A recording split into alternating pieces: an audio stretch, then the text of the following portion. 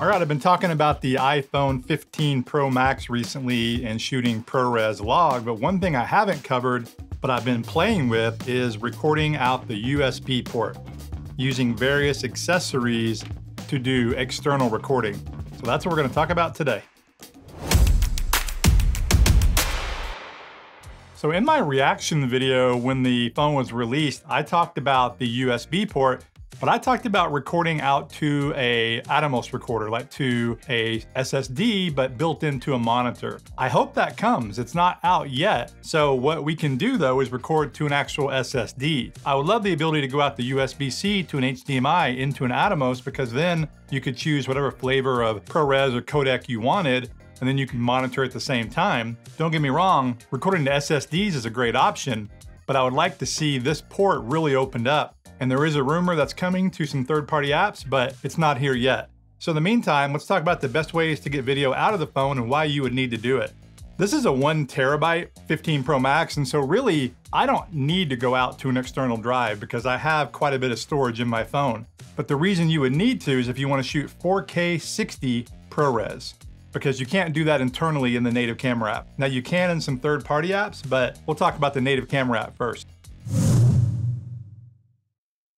So I'm using just a little Beastgrip tripod here and the Moment tripod mount that has MagSafe in it. This is a 15 Pro Max. All right, I'm in the native camera app now. I'm shooting Apple ProRes log, and you can see that I've got 124 minutes, so just over two hours. And this is a one terabyte phone that I think I have maybe 75% free. So that's pretty good. So I really don't need to go to an external. However, if I try to go to 4K 30, I get 115 minutes, it works fine. 4K 60, ProRes not supported. So you can only do that on an external storage device. And so I just so happen to have a T5 Samsung drive here. I don't think they make these anymore. If they do, they're, they're old. They now have the T7, which I have one of those too. But I want to show that the older ones work just fine. Now, one thing you'll notice, I just plug the drive in and usually you get a little icon that says USB-C. It's not showing up. And that's because you cannot record out externally except using the ProRes codec. And because I tried 4K 60 a second ago, it turned it off. Now I'll re-engage it, and now you see USB-C down here, and I can get 76 minutes of this drive. Now this is a 512 drive, and it's mostly empty.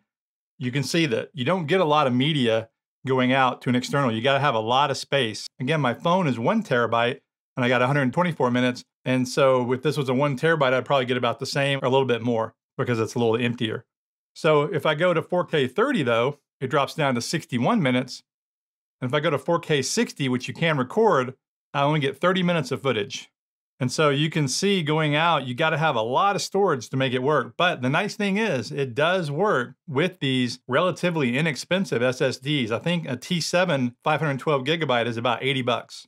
So SSDs are a nice solution. They're a little bit bulky though. So you would be hard just to hang this off your phone and walk around and shoot. But if you wanted to Velcro it to your tripod or to a case or something, which I would recommend using a case probably if I'm using an SSD, it becomes a good option. But it doesn't have to just be an SSD. You can also go out to cards such as a CFast card. Now, this is an Angelbird. It's a 512 gigabyte. It's 560 megabytes per second, so it's really fast. And by the way, these drives get up to 1,000 megabytes per second. So these are really fast. So are these. I use this actually with my Red Komodo. But now this card is like 300 bucks. And so, and you can get one terabyte versions of these cards, and they're like 500. So they get really pricey However, they're really fast and they have a lot of space on them. And so we'll try this. And this is actually a red card reader, red digital cinema. Now this is a little bit bulky, but again, it's a pretty cool solution if you want to shoot ProRes to an external drive. So now USB-C lit up, and this drive's pretty much empty, and I can get 73 minutes at 4K 30. Most of the time I shoot 4K 24, but 4K 60, I can get 36 minutes. 4K 24, 92 minutes. So that's quite a bit. That's a good, that's a good amount. And as a side note, the only time I would really ever shoot 4K 60 is if I'm doing slow-mo. 60 frames per second in my world, in the film world, is designed for slow motion. You get a 40% slow-mo look. And so yeah, this is a good solution, but again, see how big the card reader is. You could potentially, you know, mount this with some Velcro to a cage or whatever, but it's a little bit unwieldy. And so I have a smaller USB-C drive, and this actually is one that has USB 3 that has a USB-C adapter. And this one was like $20 or under, maybe 15 bucks on Amazon. This is like $100 from Red. Now, just for fun, I have a 64 gigabyte card here. It's a really fast card though, 515 megabytes a second. It's CFast 2. However, pop that in and see how much time I get. I got 124 minutes right now on my one terabyte phone. So you get 11 minutes. you get 11 minutes on a 64 gigabyte card. Now, that's not bad if you just want to grab a couple shots, but you know, you couldn't go out and shoot an entire afternoon with that. But as a matter of fact, you really couldn't shoot an entire afternoon with any of these solutions externally. And even internally, it gets sketchy. The best thing to do is record internally if you have a bigger phone and then just transfer using USB C for portability reasons. If you have time and can rig one of these, then getting a bigger card or, you know, get a two terabyte SSD and you'll have plenty of storage, plenty of time. But the main thing I wanted to show here is you can use a cheap USB C reader and any kind of CFast 2 card or any kind of card for that matter, and it works fine. And speaking of that, the cheapest solution and the easiest solution might just be to use an SD card. And that's what this is. Now, I use these on my Sony mirrorless camera, and most of the ones I have are 128 gigabyte. I don't like buying the 256 cards because on a Sony mirrorless camera, you'll get hours of footage on this, and I don't like to have to transfer that. And on top of that, if you lose a card or a card gets corrupted, I don't want to lose as much media. So 128 gigabyte is fine. But if I start doing this with the iPhone, I would probably buy 256 gigabyte cards. And this is the official Apple Reader USB-C to SD. And by the way, I'll have links to all this gear in the description of this video if you're interested. This is a really great solution though. You pop it in, it's super lightweight, and boom, there it is. Now again, 128 gigabyte, 4K 24, I get 23 minutes of footage. so if it was double that, you'd get about 45 minutes or so, which isn't bad. And the nice thing, of course, about SD cards is you just have several with you. When you're dumping your files to your computer, then you can pop the SD card in and keep rolling. This card, though, just to show, is a 250 megabyte per second card. I've heard rumors that Apple recommends 200 megabyte or more, but then I've seen guys online use cards that are much slower, like 90 megabytes, and they seem to work fine. But I would probably stick to the faster cards. It's all I own anyway, just to be safe. So again, 23 minutes on that card. But it's an awesome thing to be able to record out within the native camera app. But what about other apps? Okay, now I'm in the Blackmagic camera app, and at the time of this video, to my knowledge, this is the only third-party app that lets you record externally. There are other apps now like Filmic Pro that support Apple Log, but they don't go out the USB-C at this point. Now, the Blackmagic app, I haven't done an overview of this. I will in the near future. It's kind of buggy right now. The screen looks really funky. I think it's in HDR mode when you're shooting Apple Log, so you can't trust it, which is unfortunate. Hopefully, Blackmagic will be fast on their updates, but they haven't been so far. But the app is brand new, so I'm cutting on some slack. Hey, Future Blake jumping in here real quick. Just wanted to note that while I was making this video, coincidentally, the Blackmagic app has been updated. So several of the problems I'm mentioning here have actually been fixed. So it looks like Blackmagic is going to be pretty good at updating the app, which is a good thing. But at any rate, the one thing with the Blackmagic app, and it took me a little while to figure this out, when you plug in something to the USB port, it doesn't automatically show right down here.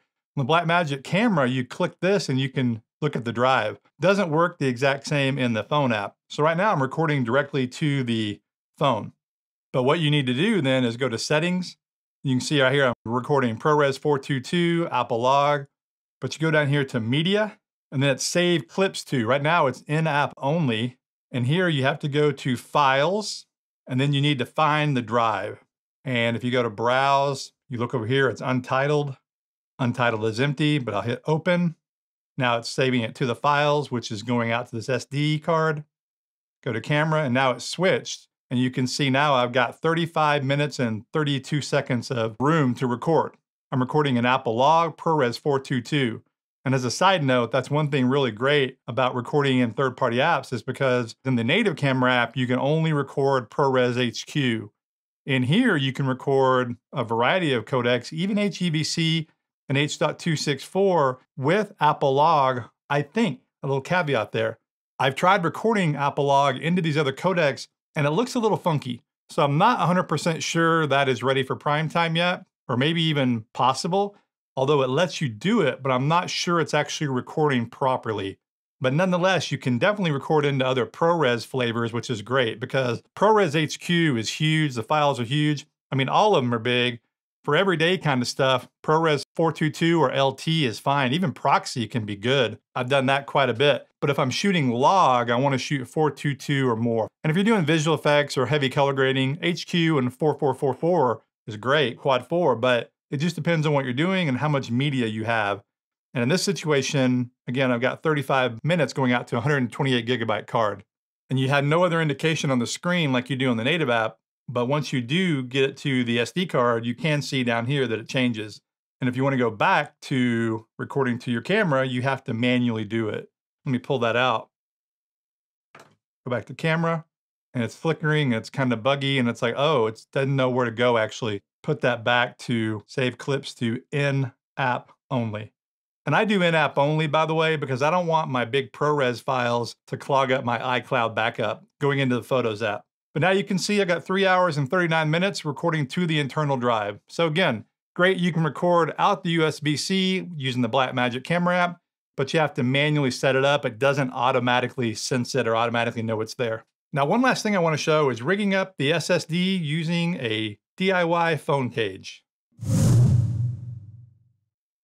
All right, so here is a rig that I have built. I called it DIY. It's because I've Frankenstein a couple things together. Got a SmallRig tripod, quick release, and this is the old school Beastgrip Pro, which, you know what's funny is I have all these different cages and such, and often I just default back to this one. I've had this like six or seven years whenever it came out, 2017, 2018, I don't remember. Maybe it's five years, but nonetheless, I really like this cage, and I like this half version where the phone's sticking out here, although you can, of course, put lenses on this side if you want to use their mounts and such. But for this purpose, really I'm just using it to hold the SSD. And so it's the cage, the phone, and then over here I put a cheese plate because I stole this little SmallRig mount. It's an SSD mount from my Blackmagic camera. It's designed for the Blackmagic camera cage. And so that's why I say it's Frankenstein because I did get it to fit on this cheese plate here. I mounted the cheese plate to the Beastgrip Pro, a quarter 20, and then I mounted this SmallRig SSD holder to that and it has two screws, but I can only get it to work with one screw. I'm hoping Beastgrip or someone comes up with a case or a cage that will hold SSDs or even just SDs or CFast or whatever. And again, you could Velcro it to it if you wanted a more temporary, easy to use solution. But if you're shooting something more serious, like a short film or you know even a feature film or whatever, having something more stable and more permanent like this is the way to go, in my opinion. So we'll mount that there and the SSD drive goes into this. You tighten it down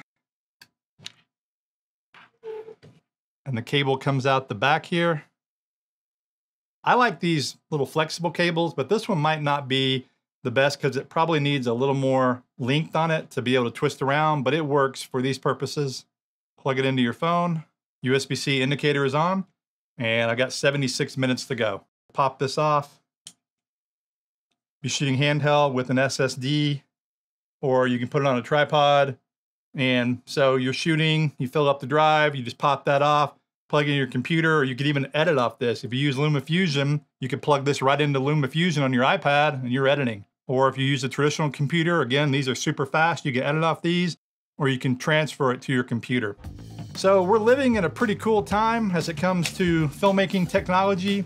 I've been pushing the limits of this stuff for quite a while. If you follow my channel, I've been using phones since 2012, really, and each year they keep getting better. But finally, just in the last couple years, really since the iPhone 13, when we had ProRes, have they really been able to match in well with traditional cameras, be used as a B camera, or be used in their own right as an A camera, depending on what kind of project you're doing. But now with Apple Log, recording out to an SSD. I've said this for years, but I mean it even more now. There's no excuse. If you want to make a short film or any kind of music video or even a feature film, just get out there and do it. Oh, and by the way, I do offer LUTs for Apple ProRes Log. I use them in this video, and if you're interested in those, please check the link in the description. Thanks for watching. This is Blake Calhoun. Please like, subscribe, and I will see you in the next video.